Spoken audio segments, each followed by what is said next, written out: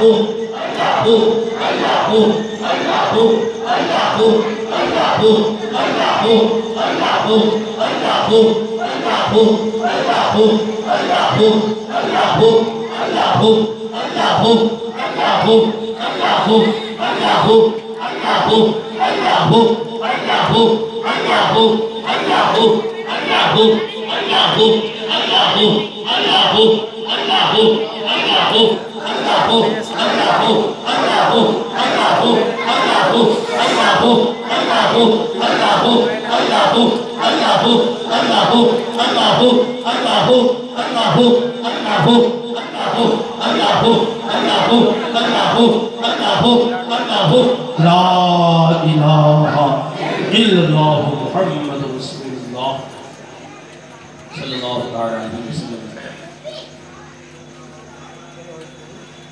والسلام علیکم یا رسول اللہ والسلام علیکم یا حبیب اللہ والسلام علیکم یا دافع البلائی والربا وعلا علیکم و صحابک یا حبیب اللہ صلی اللہ علیہ وسلم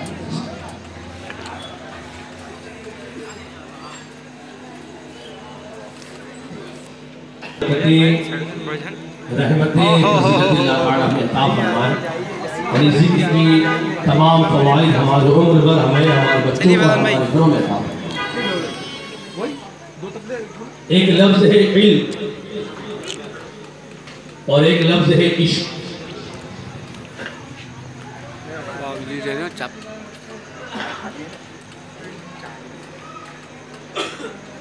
جب جو لوگ اردو جانتے ہیں وہ جانتے ہوں گے کہ علم جب لکھتے ہیں تو یہ عین سے شروع ہوتا ہے۔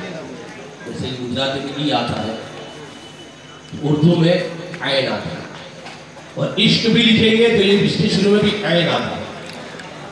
علم کے شروع میں بھی عین، عشق کے شروع میں بھی عین۔ اور عین کا معنی عربی میں آنکھ ہوتا ہے آنکھ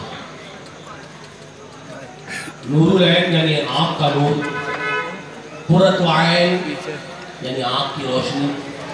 عین مطلب آنکھ تو خانقاہی لینگویج میں اگر آپ کو بتاؤ، علم مدرسوں سے ملتا ہے اور عشق کی تربیت خانقاہ میں ہوا کرتا ہے۔ مگر ہاں یاد رکھیے، دونوں عین سے شروع ہوتے ہیں۔ اور اچھا دیکھنے والا کون ہوتا ہے؟ جن کی دونوں آنکھ ہو اگر ایک آنکھ کوئی بھی نہ ہو تو اس کو کیا بولتے کانا۔ تو اگر اکیانے بننا چاہتے ہیں، تو علم کی آنکھ بھی ضروری ہے، عشق کی آنکھ بھی ضروری ہے۔ علم کی آنکھ ہو، عشق کی نہ ہو، وہ بھی کانا ہے۔ اور عشق کی ہو، علم کی نہ ہو، وہ بھی کانا ہے۔ اور کانا ادھورا ہوتا ہے۔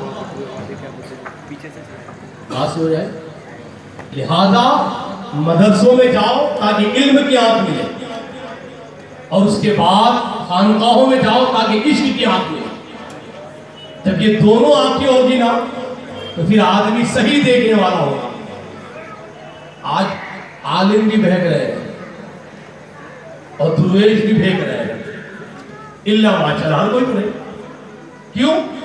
آج ماحول یہ ہو گیا ہے کہ مدرسے کا پڑا ہوا مدرسے سے نکلتا اور مدرسہ ڈھونڈتا ہے۔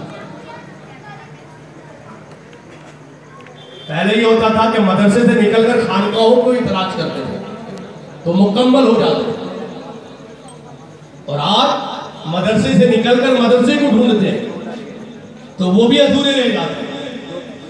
اور خانقاہ کی ٹوٹی چٹائی پر بیٹھنے سے پہلے مدرسے نہ جا کر وہ بھی ادھورے رہ جاتے ہیں۔ لہذا اگر اخیارے بننا ہو، تو علم کی بھی آنکھ حاصل کرو، عشق کی بھی آنکھ حاصل کرو۔ جب یہ دو چیز ہو جائے گی تو آدمی اخیارہ ہو جائے اللہ تعالیٰ ہمیں علم کی بھی آنکھ عطا فرمائے اور عشق کی بھی آنکھ عطا فرمائے۔ دوسری بات،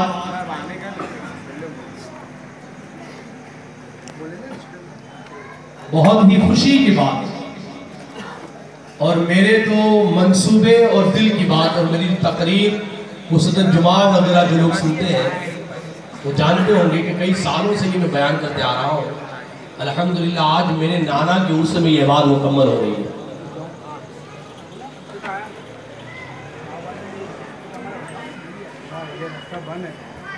حاجی سید ظفر بابا جو میرے ماما جان ہیں، انہوں نے حکم دیا، اپنے منصوبے بتائے اور اعلان کی بات کہی۔ ایک بات یاد رکھیے، لنگر تو سب لوگ کرتے ہیں نیازیں سب لوگ دلاتے ہیں۔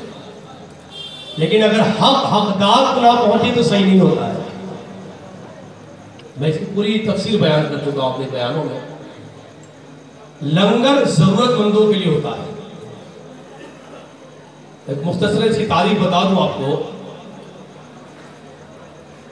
کہ خانقاہوں میں لنگر بہت پرانا ہے صدیوں سے جاری ہے۔ صدیوں سے سرکار ابو سالم کے زمانے میں لنگر ہوا کرتا تھا۔ سرکاری جنید بغدادی کے زمانے میں لنگر نیاد ہوا۔ مگر کیوں؟ وجہ یہ تھی،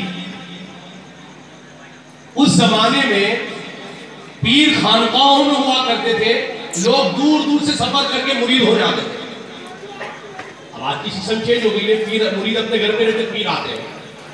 کیوں؟ کہ لوگ سست ہو گئے۔ نا